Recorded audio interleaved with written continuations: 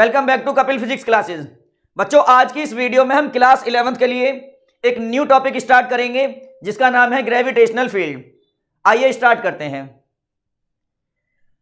मान लीजिए यह है मेरे पास में एक बॉडी जिसका अपना मास है कैपिटल एम तो बच्चों, हर एक बॉडी के सराउंडिंग में अपना एक सर्टेन स्पेस होता है। एक छोटा सा रीजन होता है।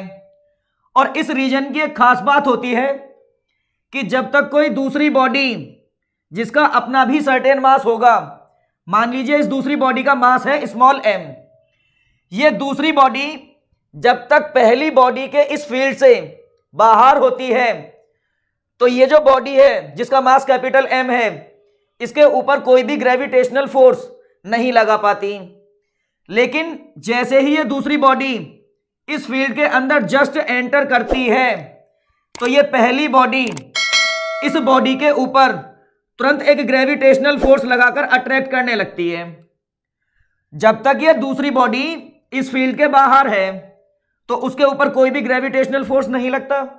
लेकिन जैसे ही यह बॉडी इस स्पेस के अंदर जस्ट एंटर करती है तो पहली बॉडी पहली बॉडी इस बॉडी के ऊपर ग्रेविटेशनल फोर्स लगाकर तुरंत क्या लगने, करने लगती है बेटा?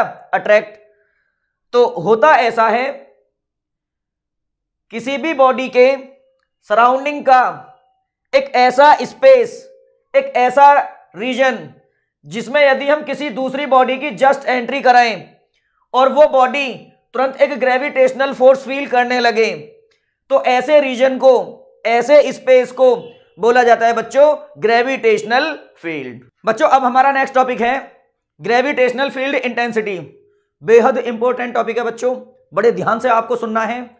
देखिए इधर। मैंने ये माना कि यह है मेरे पास में एक बॉडी जिसका अपना मास है कैपिटल एम क्योंकि हर एक बॉडी के चारों तरफ़ उसका अपना सर्टेन ग्रेविटेशनल फ़ील्ड भी होता है। तो मैंने मान लिया कि यह है इस बॉडी का अपना ग्रेविटेशनल फ़ील्ड अब मैंने माना कि इस बॉडी के ग्रेविटेशनल फ़ील्ड से बहुत ज़्यादा डिस्टेंस पर, बोले तो लगभग इन्फिनिटी पर यहाँ रखी है बेटा एक टेस्ट मास बॉडी। क्या रखी है बेटा एक? Test mass body. जब तक ये टेस्ट मास बॉडी इस बॉडी के कंपैरिजन में इन्फिनिटी पर रहेगी तो इस बॉडी के ऊपर कोई भी ग्रेविटेशनल फोर्स नहीं लगेगा। लेकिन मैंने अब क्या काम किया? इस टेस्ट मास बॉडी को इन्फिनिटी से उठाकर पहली बॉडी के ग्रेविटेशनल फ़ील्ड में यहाँ ला करके प्लेस किया। तो जैसे ही हम इस टेस्ट मास बॉडी को इन्फिनिटी से उठाकर यहाँ प्लेस करेंगे तो पहली बॉडी तुरंत इसके ऊपर एक ग्रेविटेशनल फोर्स लगा करके अट्रैक्ट करेगी। क्या करेगी बच्चों? अट्रैक्ट करेगी। तो होता ऐसा है, जब हम एक टेस्ट मास बॉडी को इन्फिनिटी से उठाकर दूसरी बॉडी के ग्रेविटेशनल फ़ील्ड में प्लेस करते हैं तो टेस्ट मास बॉडी के ऊपर लगने वाला जो फोर्स होता है यदि उस फोर्स में एम नॉट से डिवाइड कर दें तो जो रेशियो हमें मिलता है ना, उसे बोला जाता है ग्रेविटेशनल फ़ील्ड इंटेंसिटी क्या बोलते हैं बच्चों? ग्रेविटेशनल फ़ील्ड इंटेंसिटी अब हम बात करेंगे इसकी एसआई यूनिट के लिए। तो आपको एक छोटी सी बात पता है, इस ग्रेविटेशनल फ़ील्ड इंटेंसिटी की जो ऐसा यूनिट होगी, वो वही होगी जो इस रेशियो की होगी। तो क्योंकि हमें यह पता है कि जो फोर्स है, क्या है ये?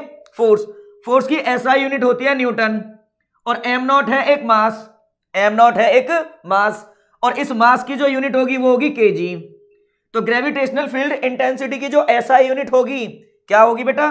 वो होगी न्यूटन पर के जी न्यूटन पर के जी तो मैंने इस बात को यहाँ पर लिखा कि जो इसकी एसआई यूनिट होगी, वो न्यूटन पर केजी होगी.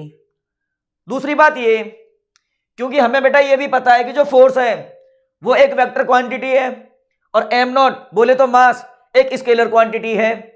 अब आप ये भी जानते हो कि यदि हम एक वेक्टर क्वांटिटी में स्केलर क्वांटिटी से डिवाइड करें तो जो रेशियो आता है, वो भी एक वेक्टर क्वांटिटी होती है। तो ये जो ग्रेविटेशनल फ़ील्ड इंटेंसिटी है, ये एक वेक्टर क्वांटिटी होती है बच्चों। कैसी क्वांटिटी होती है? वेक्टर क्वांटिटी तो मैं इस बात को लिखता हूँ कि it is a vector quantity it is a vector quantity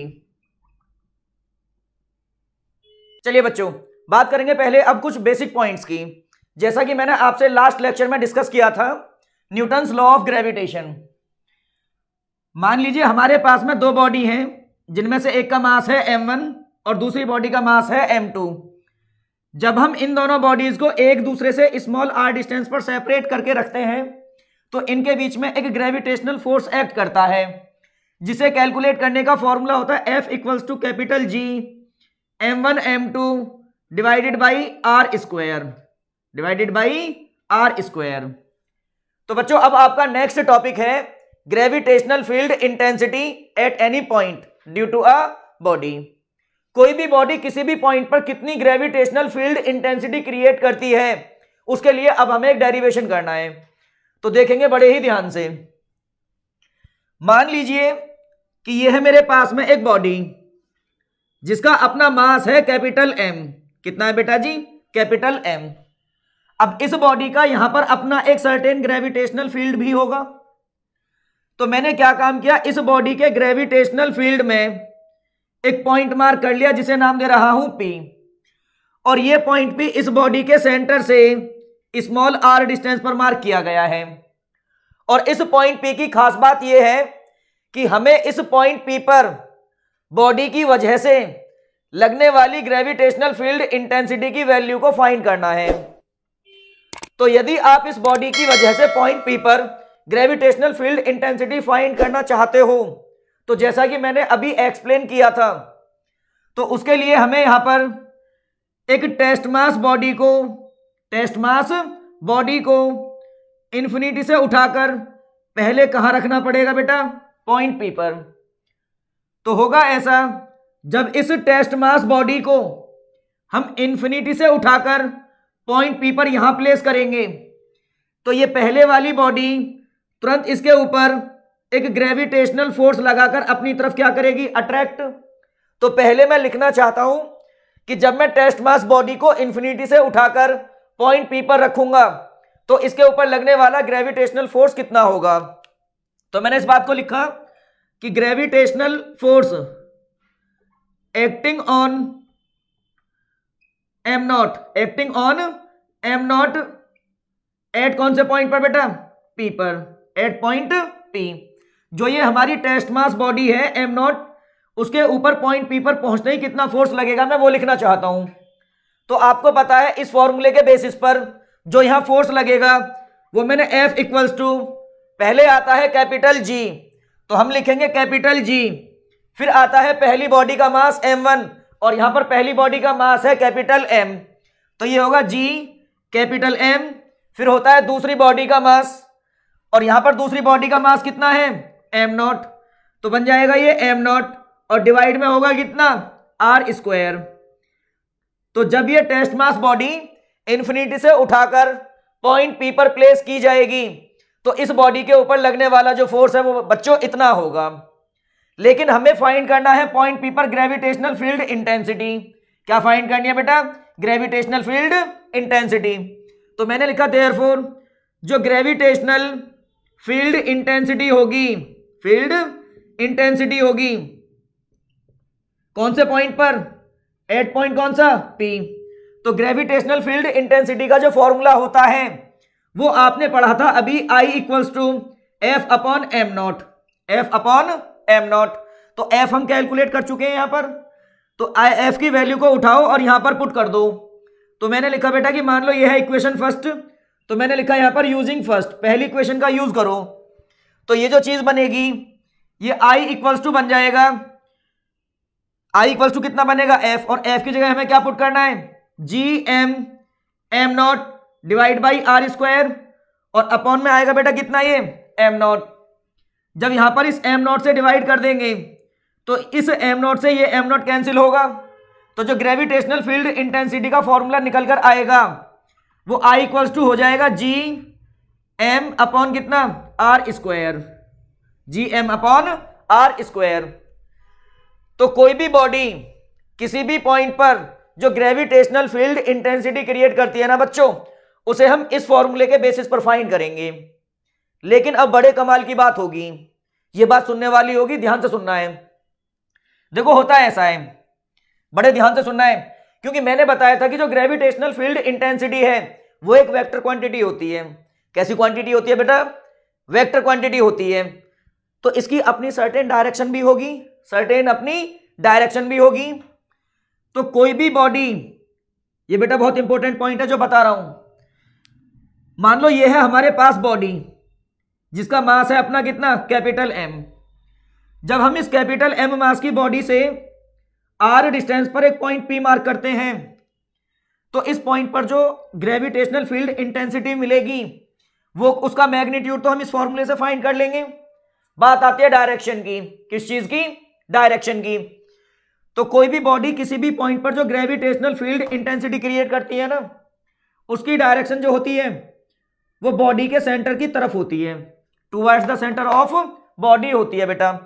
तो ये हो जाएगी ग्रेविटेशनल फ़ील्ड इंटेंसिटी की डायरेक्शन इस तरीके से।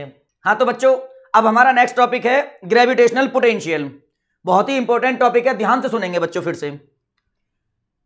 मैंने माना कि यह है मेरे पास में एक बॉडी जिसका अपना मास है कैपिटल एम जैसा कि आप सभी जानते हो कि हर एक बॉडी के चारों तरफ़ उसका अपना सर्टेन ग्रेविटेशनल फ़ील्ड होता है। तो मैंने माना कि यह है इस बॉडी का अपना ग्रेविटेशनल फ़ील्ड अब मैंने माना कि इस बॉडी के ग्रेविटेशनल फ़ील्ड से बहुत ज़्यादा डिस्टेंस पर, लगभग इन्फिनिटी पर, यहाँ रखी है एक test mass body test mass body अब मैंने क्या काम किया? इस टेस्ट मास बॉडी को इंफिनिटी से उठाया। और उठा करके पहली बॉडी के ग्रेविटेशनल फ़ील्ड में यहाँ ला करके प्लेस किया। तो होगा ऐसा, जब हम इस टेस्ट मास बॉडी को इंफिनिटी से उठाकर पहली बॉडी के ग्रेविटेशनल फ़ील्ड में प्लेस करेंगे तो हमें कुछ वर्क भी करना पड़ेगा। तो जब हम इस टेस्ट मास बॉडी को इंफिनिटी से उठाकर इस बॉडी के ग्रेविटेशनल फ़ील्ड में प्लेस करते हैं तो हमें जितना भी वर्क करना पड़ता है, यदि उस किए गए वर्क डन में एम नॉट से ही डिवाइड कर दें तो जो रेशियो आता है ना बेटा, उसे बोला जाता है ग्रेविटेशनल पोटेंशियल क्या बोलते हैं? ग्रेविटेशनल पोटेंशियल अब क्योंकि वर्क डन भी एक स्केलर क्वांटिटी है, और एम नॉट ये मास होता है, ये भी एक स्केलर क्वांटिटी है तो स्केलर क्वांटिटी से स्केलर क्वांटिटी में डिवाइड करने पर आंसर भी स्केलर क्वांटिटी मिलेगा। तो ये जो ग्रेविटेशनल पोटेंशियल है, ये होती है बेटा एक स्केलर क्वांटिटी। कैसी क्वांटिटी होती है? Scalar quantity. अब बात करेंगे हम इसकी एसआई यूनिट के लिए। एसआई यूनिट के लिए। तो आपको पता है वर्क डन की एसआई यूनिट होती है जूल। क्या होती है बेटा? जूल। और एम नॉट एक मास है, जिसकी एसआई यूनिट होती है केजी। तो जूल पर केजी होती है इसकी एसआई यूनिट हाँ तो बच्चों, अब हम बात करेंगे डेरिवेशन फॉर ग्रेविटेशनल पोटेंशियल के लिए। मतलब कोई भी एक बॉडी किसी पर्टिकुलर पॉइंट पर कितना ग्रेविटेशनल पोटेंशियल क्रिएट करती है, उसे कैलकुलेट करने के लिए अब हम यहाँ पर डेरिवेशन करेंगे। तो मैं पहले आपसे बात करूँगा कुछ उन बेसिक पॉइंट्स की जो इस डेरिवेशन में हमें यूज़ करने हैं। जरा ध्यान से देखिए बच्चों। मान लीजिए कि ये हमारे पास में एक बॉडी है। और इस बॉडी के ऊपर मैंने बच्चों एफ़ फोर्स अप्लाई किया। इस डायरेक्शन में। अब इस फोर्स की वजह से इस बॉडी ने इस डायरेक्शन में डिस्प्लेसमेंट किया। मान लो कितना डिस्प्लेसमेंट किया? एस वेक्टर अब बॉडी के ऊपर फोर्स कुछ मैंने इस तरीके से लगाया कि फोर्स और डिस्प्लेसमेंट के बीच में बनने वाला जो एंगल है, वो है थीटा तो इस कंडीशन में बॉडी के ऊपर हमने कुछ वर्क भी किया होगा। यदि वो वर्कडन आपको फाइन करना हो तो वर्कडन का फॉर्मूला होता है F S cos theta F S cos theta अब यहाँ पर एफ़ होता है अप्लाइड फोर्स एस होता है डिस्प्लेसमेंट और थीटा होता है फोर्स और डिस्प्लेसमेंट के बीच का एंगल नेक्स्ट आपने एक छोटा सा टॉपिक पढ़ा होगा बेटा इंटीग्रेशन आप सभी जानते हैं कि हम इंटीग्रेशन या डिफ्रेंशिएशन केवल उन्हीं टर्म्स का करते हैं जो वेरी करती हैं। और वेरी हमेशा वही करती है जो किसके साथ लिखी होती है? डी के साथ। जैसे आपने एक छोटा सा टॉपिक पढ़ा होगा बेटा, कि जो इंटीग्रेशन ऑफ़ डी एक्स होता है डी एक्स का इंटीग्रेशन होता है एक्स कितना होता है? एक्स आपने एक फॉर्मूला ये भी पढ़ा होगा, यदि इंटीग्रेशन का sign x to the power n और साथ में आ जाए डी एक्स तो इसके लिए जो इंटीग्रेशन होता है, वो होता है x to the power n plus one divide by n plus कितना? वन अब जरा ध्यान से देखेंगे। बात करेंगे डेरिवेशन के लिए। तो बच्चों, मैंने ये माना कि ये है मेरे पास में एक बॉडी जिसका अपना मास है कैपिटल एम अब इस बॉडी का चारों तरफ़ अपना कुछ ग्रेविटेशनल फ़ील्ड भी होगा। तो मैंने क्या काम किया? इस बॉडी के ग्रेविटेशनल फ़ील्ड में यहाँ पर एक पॉइंट मार्क कर लिया, जिसे नाम दिया पी और ये पॉइंट पी कुछ इस तरीके से मार्क किया गया कि बॉडी के सेंटर से पॉइंट पी तक का जो डिस्टेंस है, वो है स्मॉल आर क्योंकि अब मुझे इस पॉइंट पी पर ग्रेविटेशनल पोटेंशियल की वैल्यू फाइंड करनी है। तो आप यदि यहाँ पर ग्रेविटेशनल पोटेंशियल फाइंड करना चाहते हो तो इसके लिए हमें बेटा इस बॉडी के सेंटर से बहुत ज़्यादा डिस्टेंस पर, लगभग इन्फिनिटी पर, एक टेस्ट मास बॉडी प्लेस करनी पड़ेगी। तो मैंने माना कि अब मेरे पास में टेस्ट मास बॉडी है जो कि इन्फिनिटी पर रखी हुई है। तो पहले हमें करना क्या होगा? इस टेस्ट मास बॉडी को इन्फिनिटी से उठाकर पॉइंट पी पर प्लेस करना होगा। और ऐसा करने में हमने कितना वर्क किया? पहले उसकी हमें रिक्वायरमेंट होगी। तो अब हमारा पहला मकसद बनता है कि इस बॉडी को इन्फिनिटी से उठाकर पी तक ले जाने में हमने कितना वर्क किया। तो ध्यान से देखेंगे बच्चों, इसका एक तरीका यह भी हो सकता है। हमें टोटल वर्क डन यहाँ से यहाँ के लिए चाहिए। बोले तो इन्फिनिटी टू पी चाहिए। तो पहले आप क्या करेंगे, बीच के किसी छोटे से पार्ट का वर्क डन फाइंड कर लीजिए और उसका कर दीजिए इंटीग्रेशन तो हमें टोटल वर्क डन मिलेगा। तो मैंने आपसे बच्चों एक छोटी सी बात कही। जब हम इस बॉडी को टेस्ट मास बॉडी को इन्फिनिटी से उठाकर पी की तरफ़ लेकर चलेंगे तो बीच के किसी टाइम इंस्टेंट पर, मान लीजिए हम बॉडी को लेकर यहाँ पर पहुँचे थे, और जहाँ ये जो पॉइंट है, इसे मैंने नाम दिया है ए क्या नाम दिया है बेटा? ए अब ये जो पॉइंट ए है, आप रफली लेट कर लीजिए कि इस बॉडी के सेंटर से स्मॉल एक्स डिस्टेंस पर है। कितने डिस्टेंस पर है बच्चों? स्मॉल एक्स डिस्टेंस पर है। तो कंडीशन क्या होगी? एक बॉडी ये रही, दूसरी ये रही, जिसका मास है एम नॉट और दोनों के बीच का बीच के सेंटर का डिस्टेंस भी आपको पता है। तो ये पहले वाली बॉडी इस टेस्ट मास बॉडी के ऊपर एक ग्रेविटेशनल फोर्स लगाकर अपनी तरफ़ क्या करेगी? अट्रैक्ट तो पहले मैं उस फोर्स को लिखना चाहता हूँ।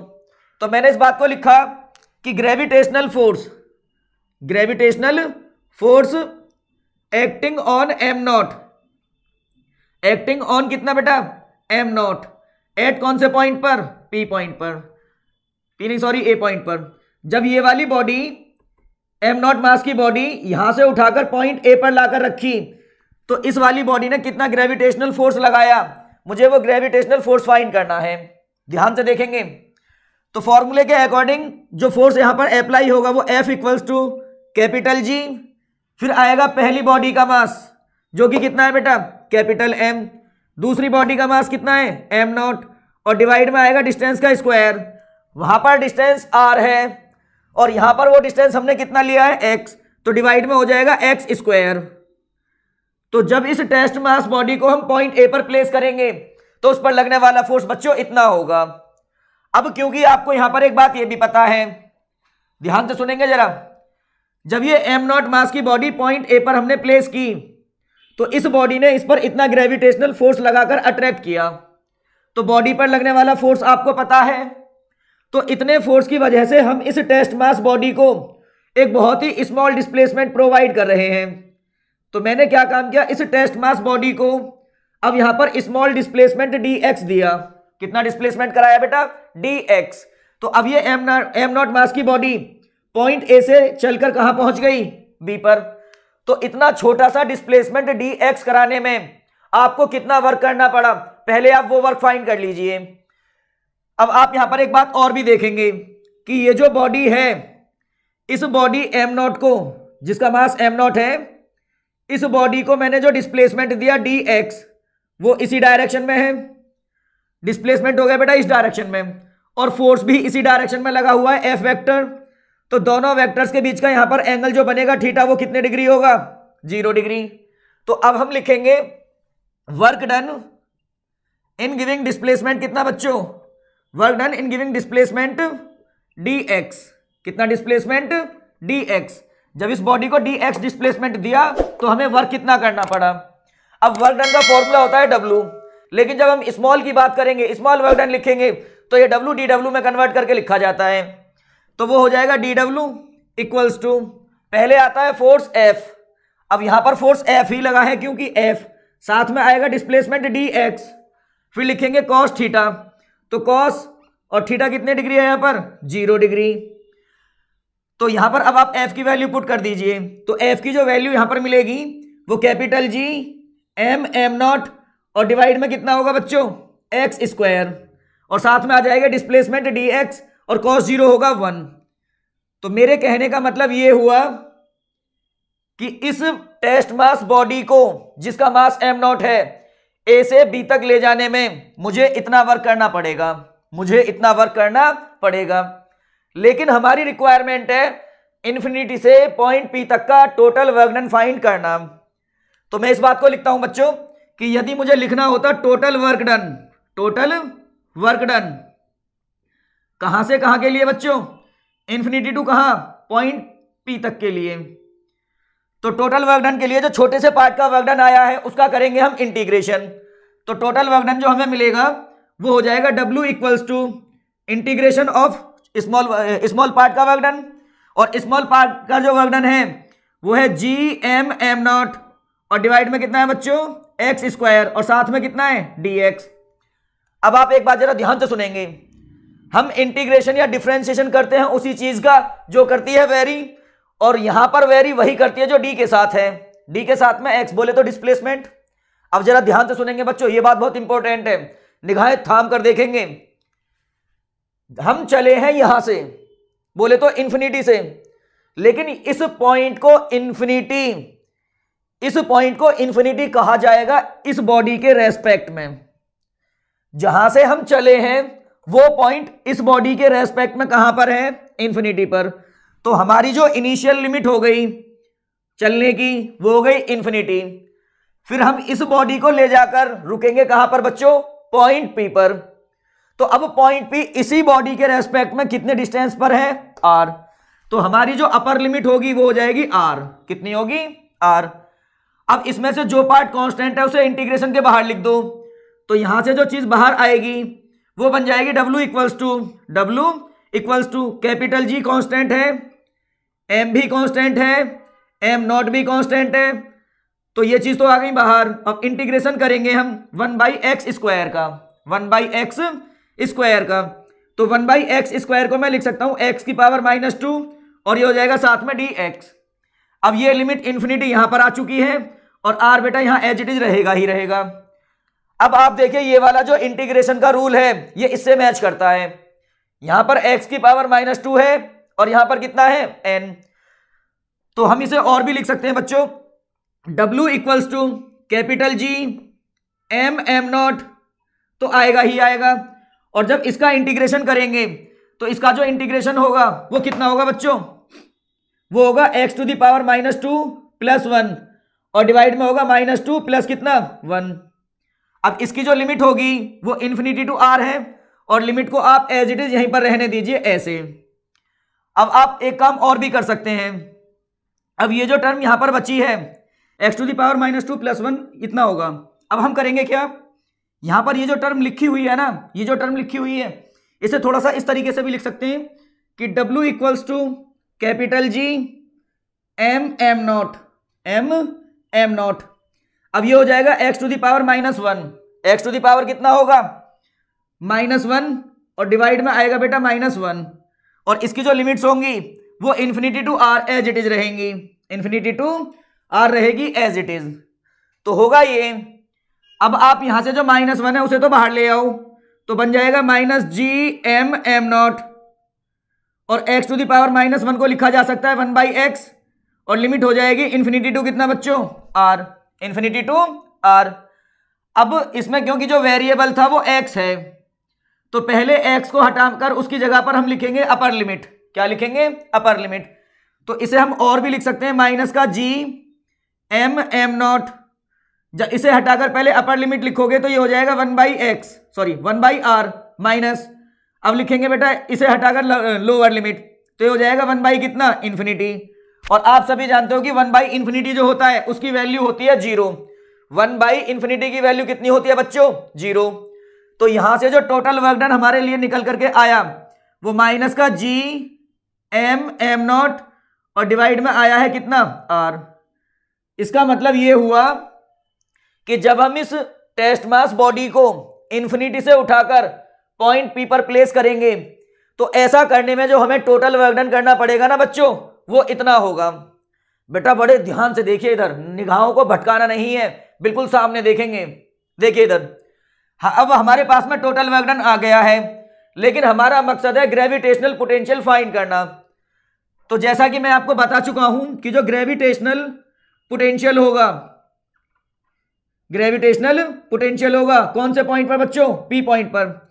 उसके लिए आपको फॉर्मूला बताया गया था V equals to W upon कितना? एम नॉट तो डब्ल्यू तो मैंने फाइंड कर लिया। ये रहा ऊपर। इस डब्ल्यू को उठाकर यहाँ पुट कर दो। तो वी का जो फॉर्मूला बनेगा, वो बनेगा माइनस का G M M naught divide by कितना? आर और उसके भी डिवाइड में जाएगा कितना बेटा? एम नॉट कितना जाएगा? एम नॉट अब इस एम नॉट से ये एम नॉट तो होगा कैंसिल तो वी का जो फाइनली फॉर्मूला बचेगा, वो बचेगा कितना? माइनस का जी एम और डिवाइड बाई कितना होगा? आर तो कोई भी बॉडी आर डिस्टेंस पर मार्क किए गए पॉइंट पर जो ग्रेविटेशनल पोटेंशियल क्रिएट करती है ना बच्चों, उसे फाइंड करने के लिए हम हमेशा ये फॉर्मूला यूज़ करेंगे। ये फॉर्मूला यूज़ करेंगे।